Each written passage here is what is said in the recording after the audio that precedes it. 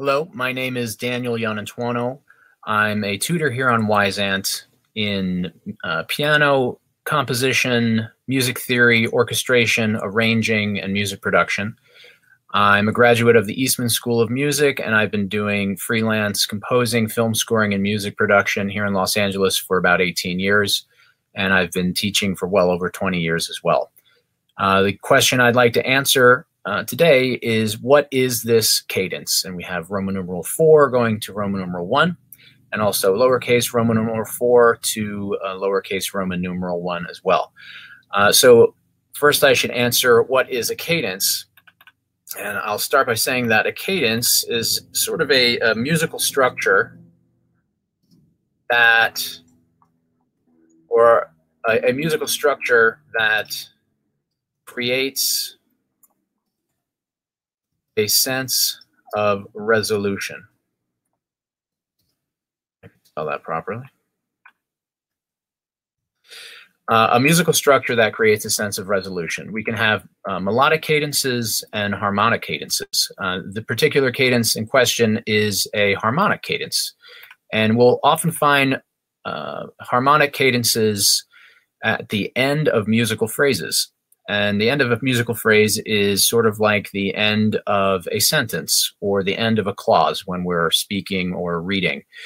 Uh, and again, it, sen- it creates a sense of resolution that this musical idea is done. Um, the particular cadence in question is known as a plagal, uh, plagal cadence. Go ahead and write that out.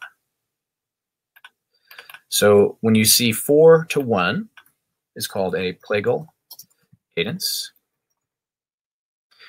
Um, and what sets this particular cadence apart from the variety of other cadences that you might hear in common practice music is that this particular cadence gives that sense of re resolution and finality in a very gentle way. So if I were to demonstrate here, I'm going to play four to one in a major key. This is going to be in C major.